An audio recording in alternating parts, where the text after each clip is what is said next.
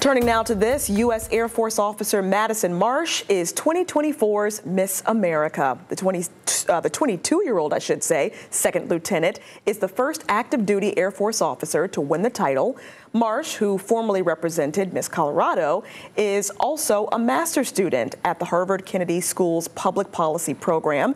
She was crowned Miss America in Orlando last night. And after a big win, the U.S. Air Force officer said, quote, you can achieve anything. Sky is not the limit, and the only person that's stopping you is you. Congratulations to her.